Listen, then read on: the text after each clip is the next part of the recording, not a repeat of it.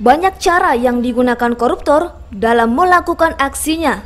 Beragam modus dilakukan supaya praktik ilegal tersebut tak tercium oleh penegak hukum. Memang aib, tapi nyatanya tiap hari selalu saja ada kasus korupsi yang mulai terungkap. Sebut saja baru-baru ini mantan anggota Dewan Perwakilan Rakyat DPR periode tahun 2009 sampai 2014 Kairuman Harahap diperiksa sebagai saksi untuk tersangka kasus dugaan korupsi, proyek pengadaan dan penerapan kartu tanda penduduk KTP elektronik. Sangat disayangkan, sejumlah dana diperebutkan hanya untuk memperkaya diri sendiri atau orang lain yang pastinya dapat merugikan keuangan negara sendiri. Perbuatan yang melawan hukum ini tidak hanya terjadi di kota-kota besar, tetapi sudah terjadi di pelosok lapisan masyarakat hingga pada lingkungan keluarga. Seperti yang disampaikan salah satu warga Sibolga, Mahadi Lubis, tindakan korupsi bukan hanya penyelewengan uang negara atau perusahaan, melainkan korupsi juga banyak digunakan para pekerja yang mencuri waktu yang disebut dengan korupsi waktu. Penyelewengan dana misalnya dana negara atau dana perusahaan.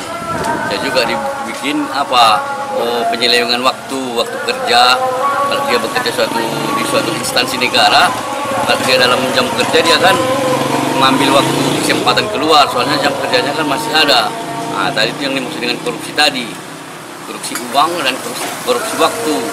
Apalagi dalam kalau bentuk waktu dia pas dalam jam apa dalam jam kerja dia dia keluyuran. Itu korupsi waktu perilaku-perilaku korupsi tadi. Mustahil masalah korupsi dapat diberantas jika pribadi sendiri pun terlibat kasus korupsi. Seperti yang disampaikan karyawan swasta di Sibolga, Parduansyah, menyatakan agar dapat terhindar dari korupsi harus diawali dari keluarga dengan bersikap jujur. Kalau pemberantasan korupsi itu ya mulai sejak dulu pun kita sangat setuju, tapi mustahil korupsi itu bisa diberantas.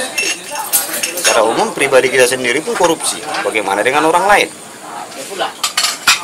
Ini nggak akan terhapus ini. Ya, kalau menghindari diri dari keluarga ya cobalah kita bersikap jujur di dalam keluarga. Baik terhadap anak-anak kita sendiri ataupun istri agar kejujuran-kejujuran yang kita lakukan mulai sejak dini ini nanti akan dicontoh oleh anak-anak kita. Nah, nantinya apabila mereka menjabat ada rezekinya menjabat sebagai orang-orang pemerintahnya tidak akan korupsi atau tidak tidak kurang penanaman agama yang lebih penting Andika Situmorang, N2 STV, memberitakan.